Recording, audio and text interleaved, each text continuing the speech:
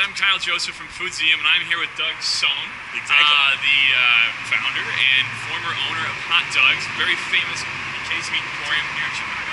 Yeah, Thanks for uh, joining us today. It's my pleasure. It's a beautiful December day here in Chicagoland, and. I had nothing else to do. love it. I love it. Well, thanks again. And so tell us where we are. We are in front of the, the storage unit that is holding the remnants of what was Hot Doug's, the sausage. There's a lot of, uh, there's some stuff in there. We're, we're very excited to see it. So Wanna let's- take a let's, look? uh, let's crack it open. All right, here um, we go. And, and learn some of the great things that are left over. Absolutely. I really hope no one's living in here. Oh, there we go. Awesome. This is Yeah. this is so cool. So We got some, this is it. 14 years of hard work. Boom, done. amazing. And so this is this is really cool here. So this is critical Links. This was Critical Links. This was a, uh, a friend of mine who said, "Hey, you know, we had talked about doing a timeline for a while, and when we moved to the second store, I told him I was like, I have a wall. It's all yours, and this is what we came up with, and it's a little bit of a, a history. Some of it." People could argue it may not be totally factual, but uh, a little history of sausage from uh, from BC to the future. Yes. And uh, uh, this hung up in uh, in Hot Doug's for just about yeah, I'd say eight or nine years, and was uh, was a customer favorite. Incredible. Absolutely. And We're big fans of history and, the evolution of hot dog. This Here it is is. a beautiful insight right into that. Absolutely. So so, so much fun. What we else? got some stuff up here. Let's see what else we got. We got some of our signs, menu signs that hung up on the wall.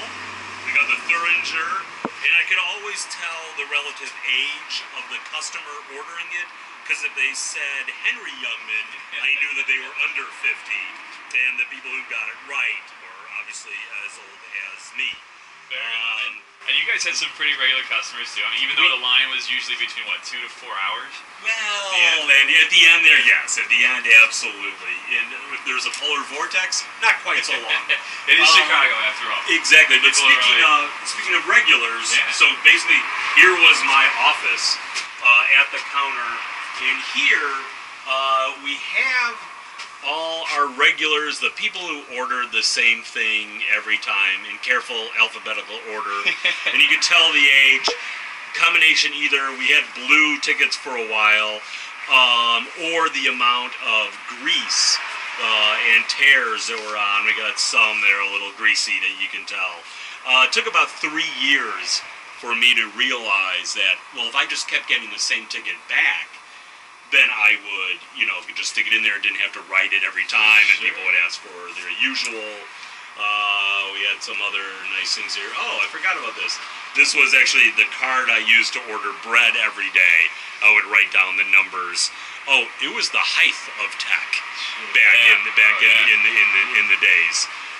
Uh, whatever, whatever it takes to get the job done. I mean, you guys, this is a, really an operation that was you, mostly, right? Pretty much. Yeah, I mean, I pretty much took every, not pretty much, I did take every order and we tried to avoid uh, any semblance of computer and uh, uh, any real POS or, or certainly every once in a while someone would ask if there's Wi-Fi and it was like, no, I want you to leave. So there's no, there was, there was nothing. Uh, and then we, although we had a fax machine Okay. that of course like died like four days before the closing, and which was fine except we, I had it for one reason. Electrical Audio, the recording studio that was around the corner on Belmont, would fax in an order every couple of days. So four days left, I had to call them and say, just phone in the order. Just- I'm not buying make fax machine. four days Precisely without- right. They seem to be Our one okay with piece of that. technology. Precisely. Exactly. And there's there's so much, uh, I mean, of you in this, and so Yeah. much of, of just who you were that you put into hot dog. I mean, for example, the, that. the duck fat fries, which are, are so Ex- famous. Exactly. Yeah, that sort of took a life. Well, it took on a life of its own in a way. So a lot of people would ask. So we have the sign here, and it's named for uh, my friend Greg Baker, not Ginger Baker, as some people ask. And the quick story is uh, a friend of mine who I actually met. We happened to be vacationing in, in France at the same time. This sounds very hoity-toity. Yeah. Uh, and he took me to this bistro in Bordeaux where they have this cauldron of duck fat in like the center of the restaurant in the fireplace. and that's where I first had like things, you know, fries, and I always remembered that. This was years before I opened the restaurant, and so we did this a little tribute to him, and he, he passed away before the restaurant opened. Uh, but we uh, uh, did have his uh, shoes, which are covered in actual hot dogs, dust, and uh, Probably some duck grease. It's oh, oh highly likely. Uh, so you're gonna be very proud of that. Exactly, and they sat atop the Coke cooler, so I wasn't really worried about dusting them. Obviously, um, everything else was relatively clean. Uh, so yeah, there's some stuff. We have the uh, the, the hot dog uh, uniform here. Uh-huh, very which, important. Uh, yeah, absolutely. You gotta you have said one of so you those. actually you've worn this. I wore this once uh, Halloween. I was doing a little uh, a gig for a, uh, my girlfriend who's a caterer, Okay. and I was outside dipping taffy apples uh, uh, wearing this.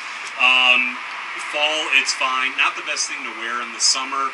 I can see No, that. a little. Probably, I wouldn't yeah. say breathing is what this material does not do. it. No, no, not E- at all. Exactly. So I was curious. To, uh, the, the baseball bat's an interesting thing. That's one I, I haven't seen before. We, we why I put it I put it behind the counter. You know, maybe I just saw too many movies, and fortunately never had to use it, which, Gotcha. which, which was uh, I was pleased about that. And most likely it would have, if I had to, it would probably been used on me. So fortunately, it stayed is- behind the counter. This is Gotham City after all. Right, right? precisely right. You know Oh, again, high, big security. Yes. Uh, uh, so forth. We yeah. Let's see what else. What else? The bust of Elvis that stood also right next to the shoes oversaw a little, you know, talisman for uh, for the restaurant. We have our street sign, which uh, was on the front counter right in front of me, Uh-huh. um, and you could read it, you know, any way you like. As I'm just saying, it was, you know, away. Uh-huh. Uh, And all one of the these- signs, all I did a book tour. yeah. We had a little poster. I think we have here. Oh, just in case, and it's not quite as the famous as the Empire Carpets, but Hey. we do have our phone number from the uh, from the arrow sign that was outside the restaurant. Awesome. So we got some pieces in here. We got our specials sign, which still has Yeah. a number of the specials, and I think one's missing because someone uh, asked for it, like on the last day. Hey, can I have that sign? I was like, abs. One less thing I need to store. Sure. Absolutely. So what was, uh, I guess, to take us back to, to the Sure. end, what was the last hot dog you served? I know there's a bunch of uh, hoopla about that. Yes. So there were, in in theory, the last order was mine. Okay. I came, Paul Kelly, who was uh, not only the bratwurst, but the person who had the bad hot dog, which is why hot dog started. I made him stand behind the counter. I was in front of the counter. I ordered a hot dog after trying to, you know, order from him. uh, great, fun, restaurant done. 20 minutes later, I turn to my staff and say, hey, can I have my hot dog? I hadn't eaten yet. Gotcha. And they looked at me like, what hot dog? They thought I was it joking. It was forgotten. The first yeah, order was yeah, absolutely. So I Probably- fired, I fired them all right there on the spot.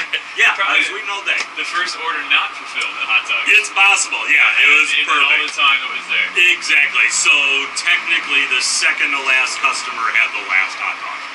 Awesome. I'm still a little bitter about it, by the way, many months later. So, so we're so excited to be here again, just with you, uh, and, and we're taking a peek inside history. Uh, really, this was Sure. part of, of Encased Meat Lore.